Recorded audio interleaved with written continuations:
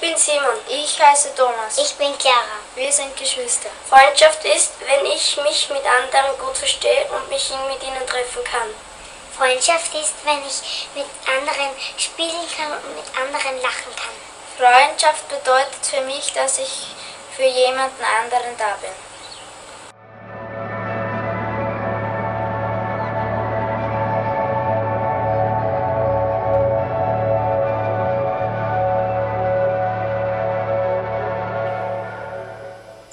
Ciao, io sono Chiara. E io sono Karen. Siamo MAPS, vuol dire migliore amiche per sempre. Ecco, oggi vi elenchiamo le regole per essere MAPS. Ci si aiuta sempre, ci si fida e non, non- ci si vuole bene e non si fa finta. Ciao!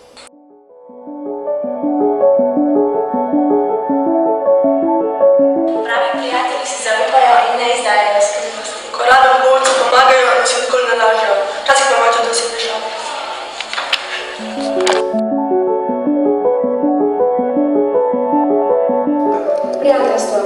Pravi prijatelj je tisti, ki ima tebe za prijatelja in te sprejema takšen, kot si. Prijateljstvo je včasih tudi boleče, vendar je pomembno, da se prijatelji med seboj zaupajo. Prijateljstvo je kot predrgana nit. Tako jo zavežeš, vendar sled ostane. Ne smemo tvegati in izgubiti prijatelja.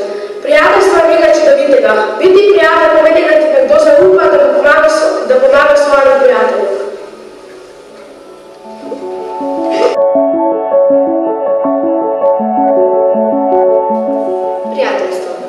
Prijateljstvo je vez med dvema osebama, ki si zaupata, imata skupne interese, se šalita skupaj in se ščitita.